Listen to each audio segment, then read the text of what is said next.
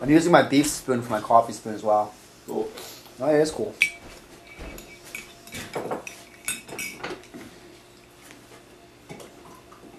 Um,